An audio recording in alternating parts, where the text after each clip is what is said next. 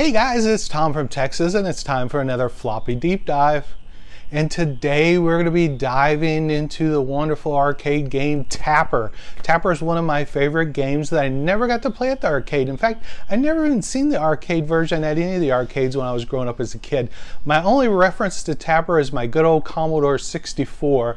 So now that I have all these systems, I figured why not let's check it out on the many faces and look at all these systems on Tapper. So what we're going to be looking at is of these different systems. We're going to be looking at the Apple IIe. I've got my Commodore 128 loaded up. I got my arcade version, the official arcade version loaded up. Another Commodore 64 version, my Atari 800 XL, and my ZX Spectrum back in the back making all that noise, humming and buzzing you might hear because you just can't turn off the volume on a ZX Spectrum.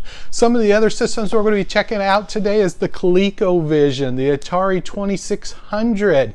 We're also going to be checking out the PlayStation and also an Amiga 500 version that just came out in 2021. We're going to be checking out here today and many other systems. So if you love retro computers, you love retro gaming, and you love retro software, this is the channel for you. So I wanted to show you this poster of the winner of Win Tom's Retro Poster Contest. His name is Dave Fox and he just got his poster this week and here's a picture of him holding it up, grinning ear to ear. So happy that Dave loves his poster and it just proves that people do win here on Floppy Deep Dive.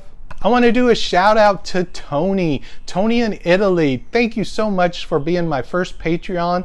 Uh, your support at the channel so far through this year and a half and this journey, and thank you so much. I appreciate it. That allows me to, you know, continue to get software, different hardware for you guys, better camera, better lighting, make better videos, and I just love doing this. So thank you so much for supporting my dream. I would love nothing more than be able to do this full time for you guys. Love going through this old retro computers and you join the Patreon channel just makes it so much easier for me to do that. If you haven't joined yet, check out the link over here and check it out. So this episode is sponsored by PCBWay. And this is one of the cards you can get off of PCBWay.com. And you can go out there and do this project yourself. This one I show because I own it because it's a two-in-one. It has the diagnostic cart uh, cartridge on it and it also has the dead test cartridge on it. And I find this to be very, very helpful when I having any issues with my Commodore 64. But they got a lot of projects for all different types of computers that you can go out there and do. So I think it's worth checking out. So go out to PCBWay.com. Let's go ahead, pull up a chair, grab a joystick, and let's get started. So first we're going to be looking at the arcade game Tapper. And Tapper came out in 1983, so it is 39 years old, almost 40 years old, this game. And it is so much fun. I love to play Tapper. You can just pick up the joystick and get started. And my original idea here for this video is I was just going to do a Commodore versus Atari because I was playing the Commodore version because every time I do see it on the disc I have to load it up and have to play it and my Atari's right next to it and I was thinking I've never played it on the Atari 800 XL I wonder what that version is like. Is it similar? So I loaded it up and it was completely different. But every time I do this and I was just going to keep it to those two it seems to morph because I start getting wondering what other systems are like and what's going on. So I have to go and open up all of them and see what they're like. So that's what I do. So it turned in from a, a, Commodore versus Atari video on Tapper to the many faces of Tapper. And I hope you like these videos because I sure do enjoy making them. I uh, love playing this game and just seeing all the different versions out there. And now I'm going to show you each of those different versions on the different machines that it was released on.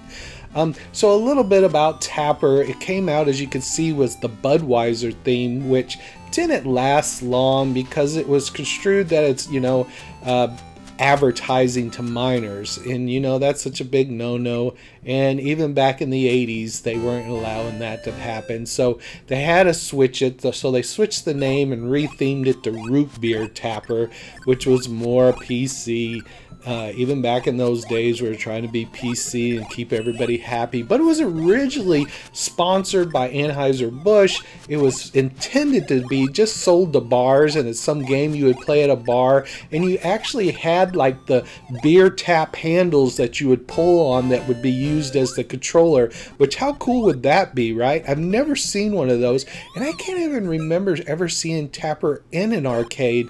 So unfortunately, I didn't get to play the arcade version. The one I always played was my good old Commodore 64. Now there's also an arcade version out there with Suntory, and Suntory was an alcoholic beverage that's famous in Japan. I never heard of it, didn't know what Suntory was until I did some research for it. You guys down in comments let me know if it's any good. But they also made an arcade version with that sponsor in it. So they had two with different alcohol showing it when you played the game. And the game was fun. The guy, the character in there, his name really isn't Tapper. His name is really Domino Man. And they used him in three different games uh, Domino Man, this one, and another one where he was uh, a lumberjack. And I can't recall the name of it off the top of my head. But he was in three, but Tapper's the most popular that he was in. And again, his name is Domino Man, and he's going through there, and you've got to serve all these different customers. And you lose a life if you empty mug falls off at the end of the bar, or if they get all the way to the end and then they slide you down and bang your head in there, or if you throw a cup and there isn't a patient there and it breaks. So that's how you lose a life. And there's many different levels. Starts off you're in a western saloon and there's two different ones with cowboys. Then you go to a sports bar with athletes and there's three different screens. Then there's a punk rock bar with punk rockers and there's four screens. And then last but not least, there's the outer space bar with aliens where there's four screens and it is so much fun and of course you got that bonus round in the middle right where you got six cans of beer or root beer or whatever's advertising. All in commodore 64 it was always the mountain dew. I've seen pepsi i've seen root beer. So it changes through the different one depending on the game. And then the little mask guy comes and shakes up the cans and then you gotta follow the cans and make pick the right one or if you pick the wrong one it just squirts in your face. And I just love it. And the music's good the sound's good. It is just a fun awesome game.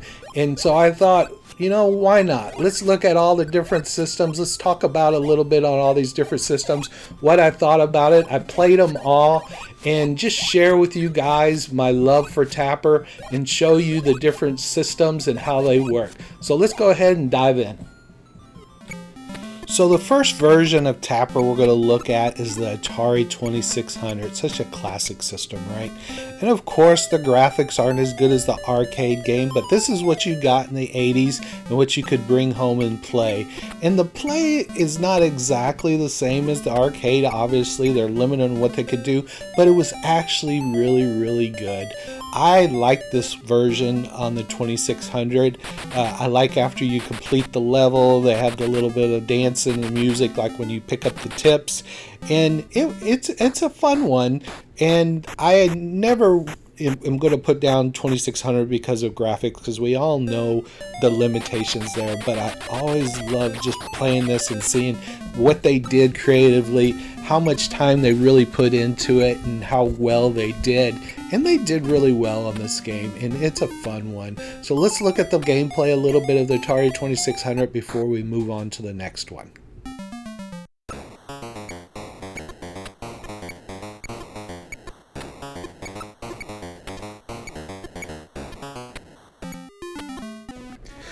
So next we're going to be looking at Tapper on the good old Apple IIe and I love having this system where I can pull it up and play it. And Tapper on here is definitely different than on the other systems. You're much bigger, much bulkier on this system. Here you are in the Cowboys start off. Love the moose heads up at the side. A little bit sluggish when you're playing to release the beer, not as fluid as I think as the Atari 2600 that I just played. So it's a little bit of a delay when you're doing it. And so for some reason it was it was just hard for me to adjust but I thought they did overall good. The, the sound's not as great as the other ones music not as great but still very much playable. They're all pretty much play the same But anytime I get to break out the Apple IIe and play a game on it, I just love doing it. It's just such a classic system. Love running for the change and getting the dancing girls dancing to, distract them while they're going down the bars. So it gives you a little time, little breathing room to be able to continue on. On the Apple IIe, that this the Western bar was actually a little bit harder than the other systems. It was hard to get past the second screen. Uh, just because they just kept coming and the, the more you tried to knock them out and, and, and get them out of there they would just keep on coming through. So a little bit more difficult than the other systems but again enjoy anything on this classic too. So let's watch the gameplay a little bit and then we'll jump to the next one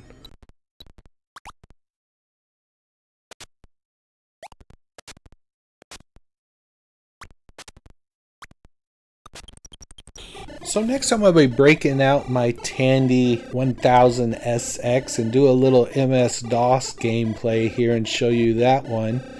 And this one, besides the pink and the blue here, is actually a fun one, but it's really fast. Look how fast those mugs fly down the bar and how fast I'm doing. The speed on this was just incredible after going from the Apple, which was very slow and sluggish, this one is just too fast. And so just trying to keep up with it like looks like I'm like in an advanced mode or something was very difficult because those mugs going down to catch it, it was always hard. And this is just the Western one, right? On the other versions, this is simple. You do a couple of things, get through it, move on to the next one. Here I am still going. So they made this one tough. I enjoyed playing it, you know, definitely different. The graphics are definitely different looking. You're still just the good old tapper over there serving your beer and not having to fake it up by doing, you know, soda. But, uh, still, well, I take that back. If you look at the window over there, it says soda. So I guess in my mind it's supposed to be, but he doesn't look like he the root beer guy with the hat yet. But uh, anyway, like the MS DOS version, let's go ahead and check it out for a little bit and then move on to the next one.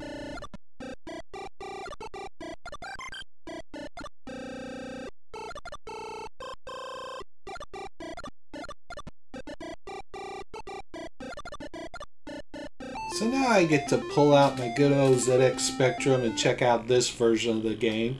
And the characters in this one look very similar to the Commodore 64 one.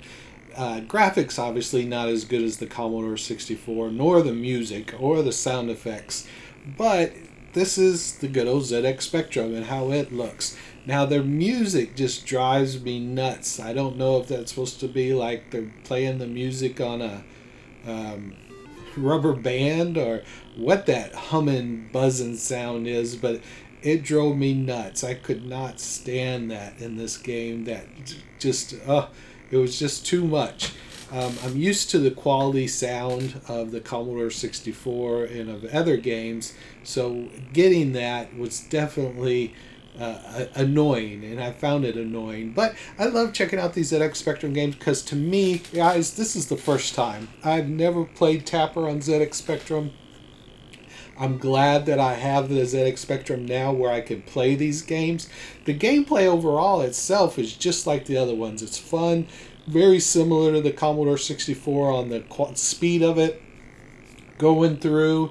Uh, of course, on this one, they have Pepsi instead of Mountain Dew. So maybe over there in England, you guys over there in the UK, tell me you drink a lot of Pepsi versus, well, I guess Mountain Dew's a, a Pepsi product too, but I guess they didn't want to tell you Mountain Dew. But anyway, Pepsi's the one who does this one over there. I love seeing how these sponsors change through the different games. Um, but all of it, it has everything just like the arcade and all the other ones do, including the round where you gotta find the can that doesn't spread up in your face, and just as the same mini number of levels. So kudos to ZX Spectrum that they could pull this off on that machine and really does not look that bad. So let's look at this a little bit and then we'll move on to the next one.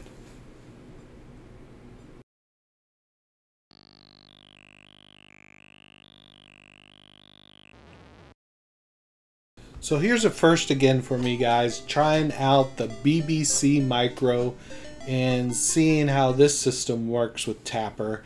Uh, they love their yellows and reds in here for sure. And but the characters and everything look very Commodore 64 ZX Spectrum like. The speed of the game is very similar, so it definitely looks like it was made by the same people who made the Commodore 64 version and the ZX Spectrum version of this game. And again, you got the different thing in this version they have Mountain Dew, so it's BBC Micro again, another one from the UK, so I guess maybe they do like Mountain Dew over there too. But this one got it, like I said, much more similar to the Commodore 64 and the character all kind of look the same the graphics look the same besides just the shading of it all Ooh, now this blue and green, this is definitely different too. But again, looks the same as the other ones. It's just the colors. They must not have had as many different colors. So BBC Micro, I'm very familiar playing it. Feels like I'm playing the Commodore 64. The gameplay is very similar. When we get to the Commodore, you could see how that's the same and how it's the ZX Spectrum that we just saw. You can see that the characters outline look the same. So let's look at the gameplay a little bit of this one and we'll move on to the next system.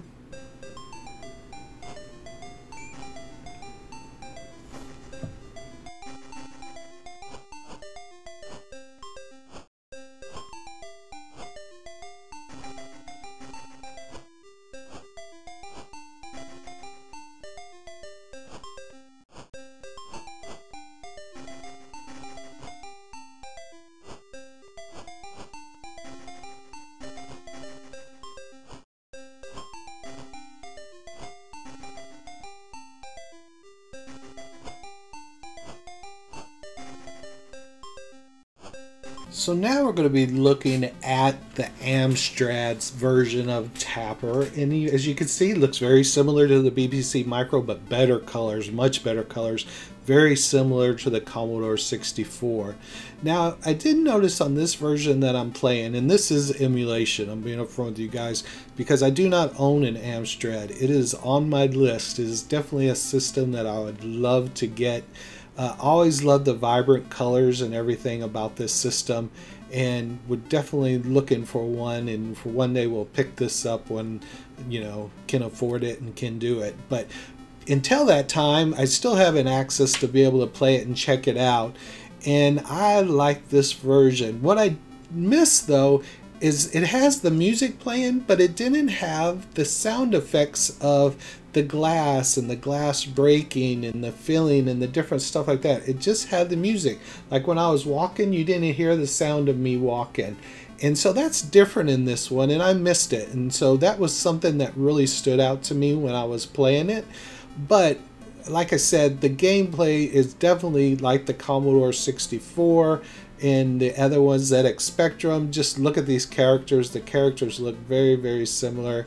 And I, again, another great system, another great version. Tapper just continues to impress on all the different systems I'm checking out. So let's continue look a little bit more at this Amstrad version and then we'll move on to another one.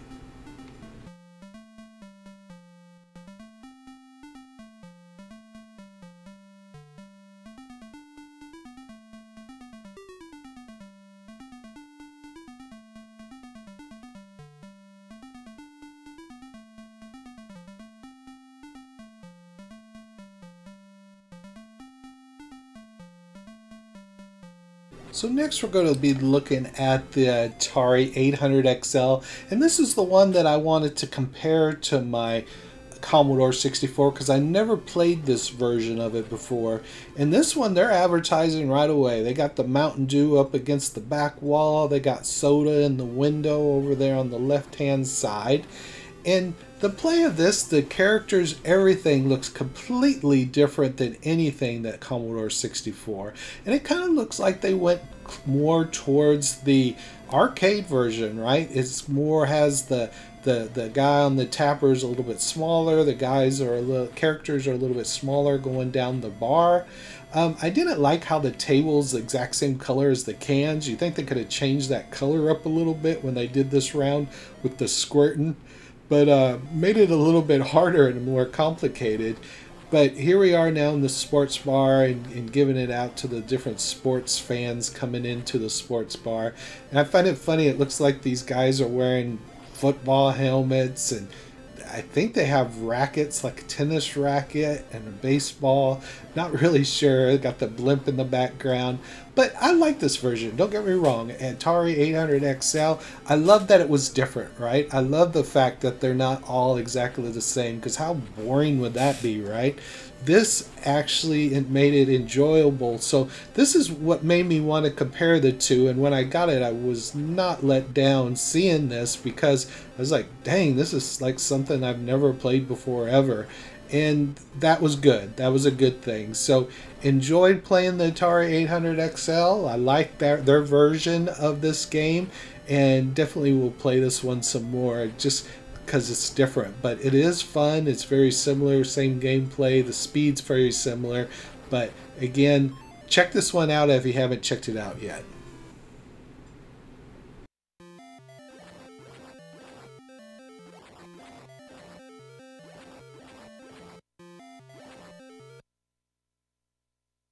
So now we're going to play the game that I know and love, the Commodore 64 version of Tapper. And this is what I grew up with. This is what I played. I mentioned I never played the arcade version of Tapper. So this is what I knew and in my mind I compare everything to. So I really like those systems that really look very similar to it. Like the Amstrad did a good job and all those ones we've already looked at. And I keep mentioning here's the Commodore 64. But do you hear this different sounds and the music and how the sound is so great on the Commodore 64. That SID chip's amazing, isn't it? And just love this, love the feel of it.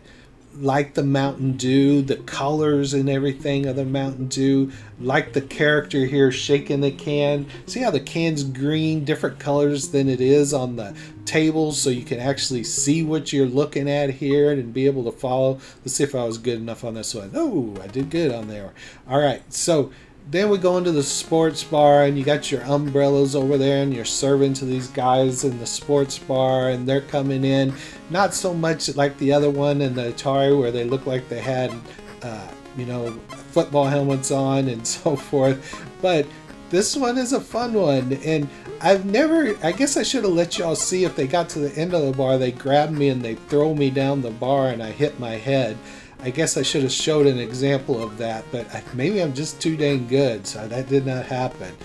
Anyway, that was a joke. Anyway, so I enjoyed this one a lot. Of course, Commodore 64 is my king of all kings around this time, and it's just a great, great version of Tapper.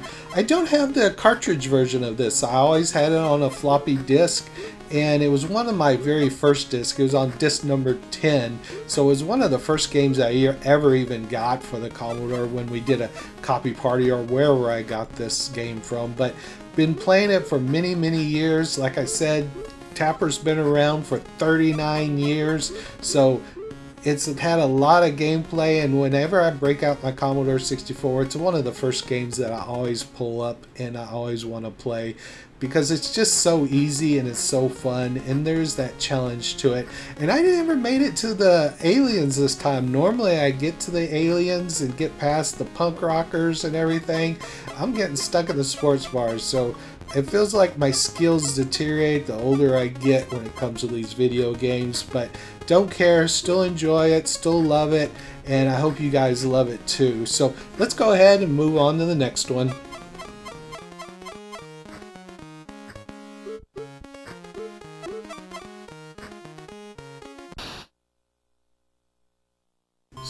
going to be looking at the ColecoVision version of this game and this is more like the arcade, how the shape of the character looks and, and how they, they look when they're coming in to the bar with their big old cowboy hats on.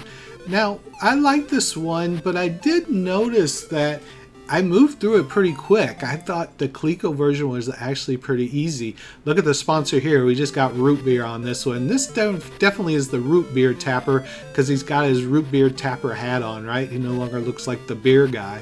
So then I get to select. Let's see how I did on this one. Hey, I'm going great on these so far. So on to screen four. So we're already into now the uh, sports bar and serving root beer to these sports fans. They still are all wearing cowboy hats like they did in the bar. But if you notice, I want you to pay attention how slow those mugs go down the bar. I mean, they're just ooching along very, very slow. Am I complaining about that? No, but because it makes it much more simpler to be able to play this game when those bar- beer mugs are moving that slow because I could just keep serving and I'm not even worried about them running off and I can clear that screen so much easier, right? So love the ColecoVision. I, I just love uh, just loading up the ColecoVision and being able to play it. Uh, I always admired the game, you know, when I would see it in retail stores, and I never owned it as a kid, so I've owned it now as an adult. So now being able to play it is just a blast. So hope you guys enjoyed seeing this one as much as I did, and let's go ahead and move on to the next one.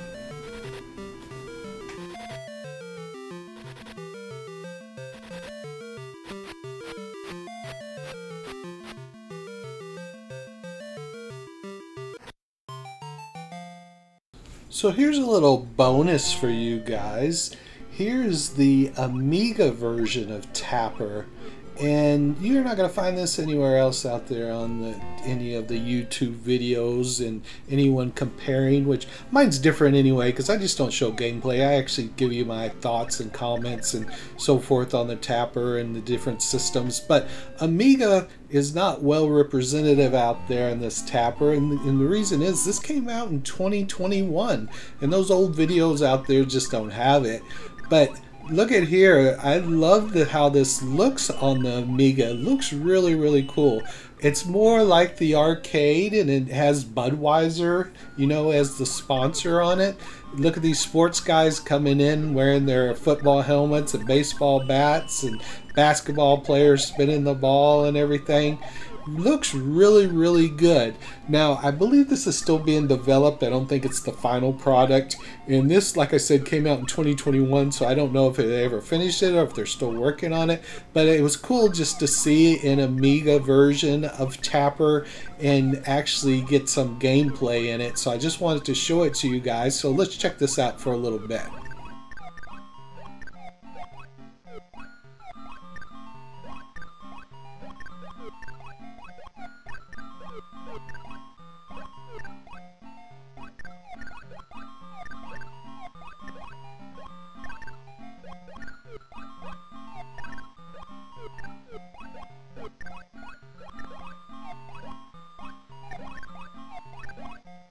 So next we're going to be looking at the PlayStation 1 and it came out on the Arcade's Greatest Hits, the Midway Collection number 2 for the PlayStation, included Tapper, and so I thought it would be cool to load that up on the PlayStation, check it out, and this one looks just like the arcade, right? By this time we could easily copy and in our homes we have. We went all the way from the Atari 2600 to this and this quality looking arcade action play that the PlayStation 1 gives you right? And it looks just like it. Now this is the root beer version of everything uh, starting again out in the western bar and it's pretty simple. Uh, you got your little hat on. You do the flipping of the mug and kicking of the mug and all that different stuff that's right there in the arcade and PlayStation in this game just looks amazing. And I love these arcade classics that you could play on the PlayStation when they would come out with these discs because you would have so many different games on there that you could play. And this was before RetroPie and all the different stuff where you could play the arcade games. So it was a great option to play arcades when the PlayStation came out and they did such a good job on it.